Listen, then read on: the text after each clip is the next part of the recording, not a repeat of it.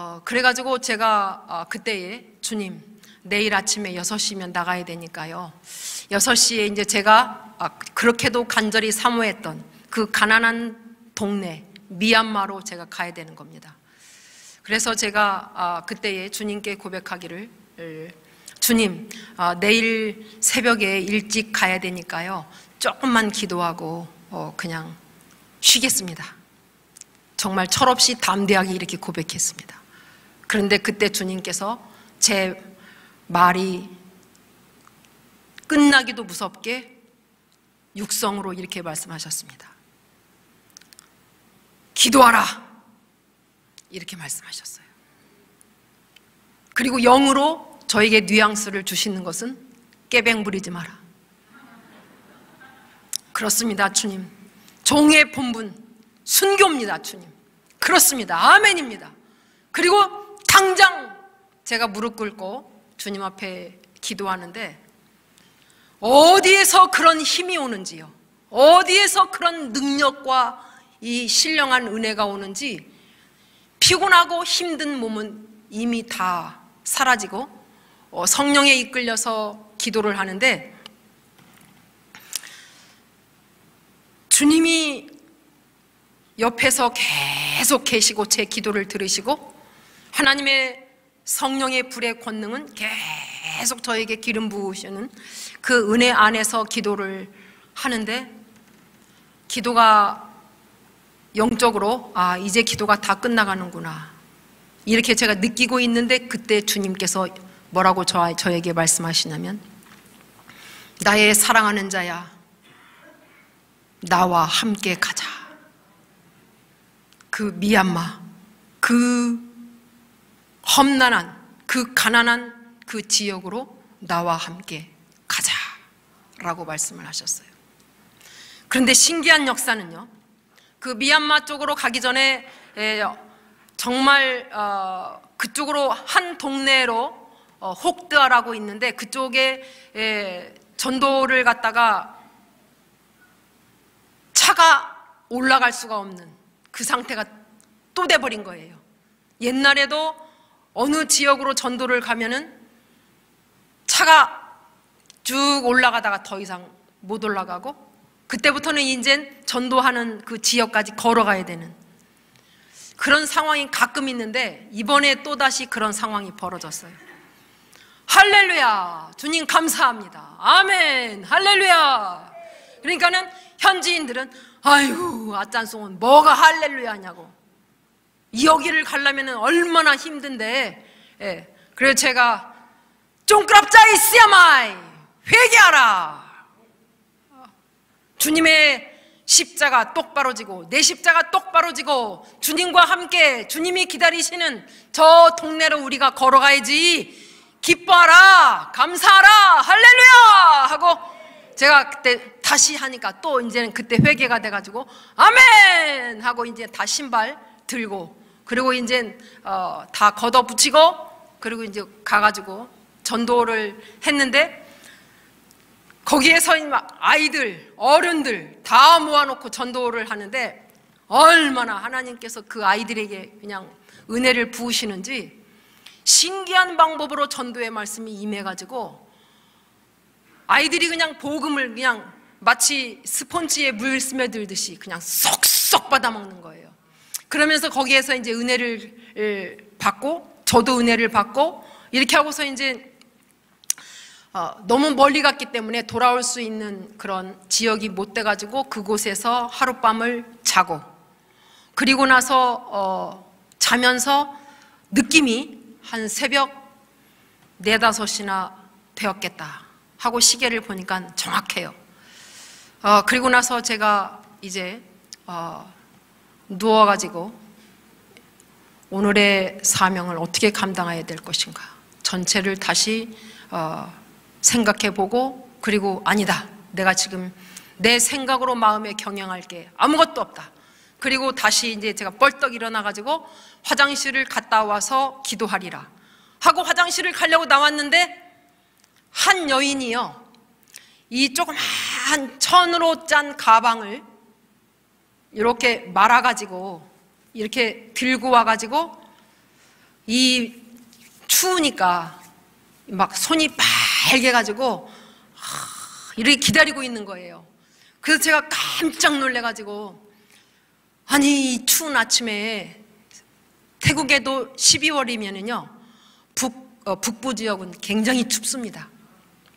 낮에는 잠깐 몇 시간 더웠다가 아침 저녁에 새벽하고 특, 특별히 새벽하고 아침 시간은요 아주 추워요.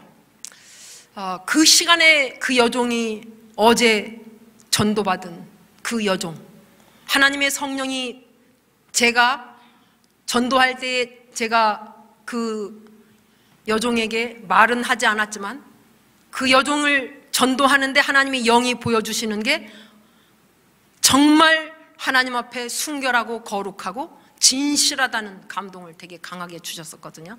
그래서 아, 저 사람은 예수 잘 믿겠구나. 진짜 주님을 사랑하겠구나. 그리고 이제 더 축복의 막 진리의 말씀으로 선포했었는데 아침에 그러고 있는 거예요. 그래서 제가 깜짝 놀라서 아니 이 추운 날 왜 들어오지도 않고 이렇게 서 있냐고 그러니까 아짠성 어, 이 섬 이게 제가 손으로 짠 가방인데 이런 가방을 받으실 수 있을까요? 이러면서 저한테 손을 내미는데 와, 얼마나 사랑스럽고 감동이 되는지 모르겠어요. 그래서 제가 이제 그 손을 꼭 잡고 축복기도 해주고 그래 사실 기가 막힌 것은 뭐냐면요. 제가 꼭 그만한 가방이 있었으면 했거든요. 그랬더니 진짜 그, 그 사이즈 그 진짜 제가 좋아하는 천 가방 그거를 가지고 온 거예요. 그래서 제가 주님 앞에 너무 기쁘고 감사하게 이제 그 시간 후로는 제가 그 가방을 메고 다니면서 전도를 한, 전도를 했는데 이제 미얀마로 가면서 제가 그 가방에다가 그 가방을 메고 또 가는 거죠. 그리고 미얀마로 이제 아침에 6시에 출발해 가지고 아, 미얀마 아, 그 어, 가기로 한 가기를 원하는 그 지역에 오후 2시 정도야 돼서야 도착을 했어요.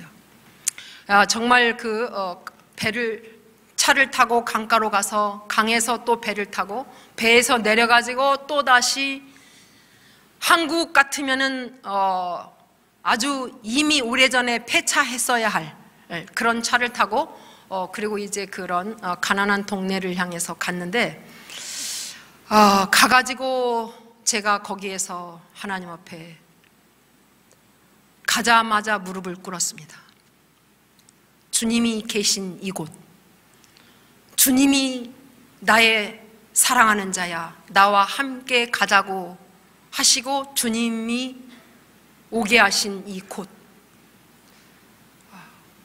가보니까 전기도 안 들어오고, 전기가 안 들어오니까 엄청나게 더워 죽겠는데, 낮에는 그렇게 덥습니다.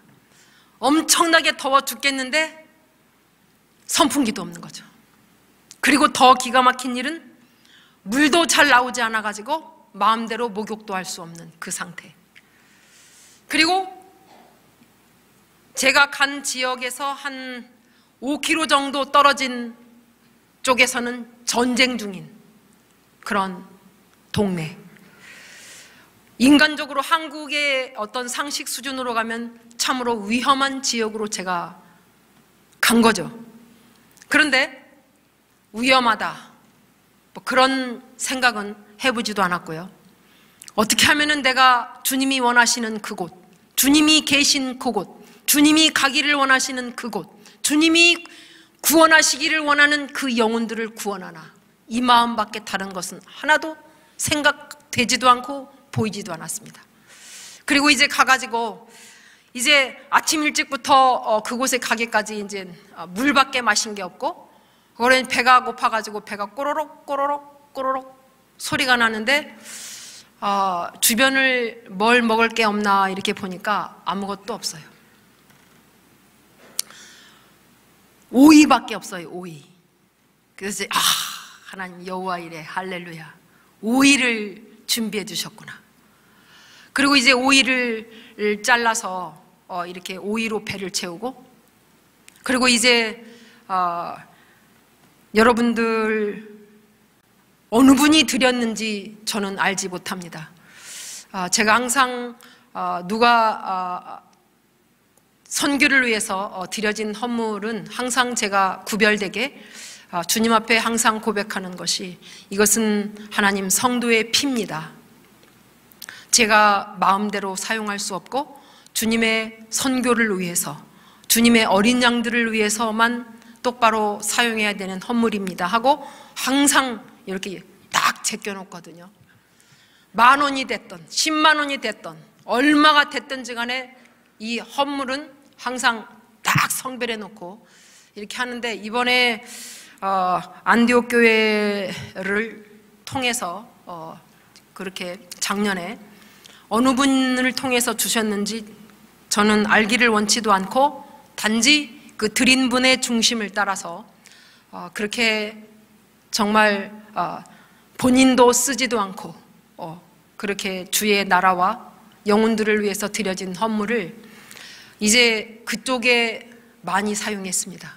가면서 그곳에 필요한 생필품, 그 다음에 쌀, 그 다음에 여러 가지 필요한 그런 물, 또 이제 그런 공유, 그 다음에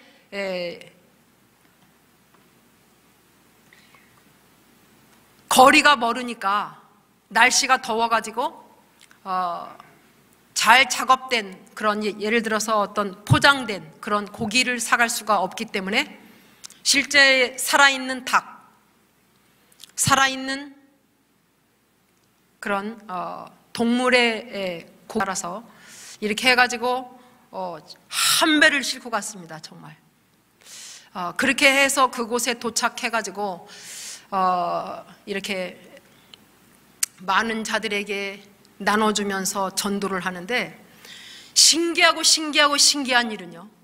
어, 이게 사실적으로 미얀마를 제가 태국 비자만 가지고 있지 미얀마 비자는 가지고 있지 않, 받지 않았거든요.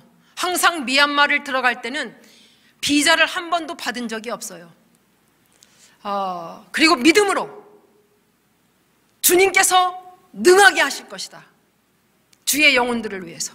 그렇게 담대함으로 딱 하는데 이제 그 여인이 아까 그 가방 하나를 가지고 온 그 가방을 제가 이렇게 메고 차를 타고 검문소가 딱 걸렸는데 다른 데보다도 검문소가 굉장히 가까이에 있었어요.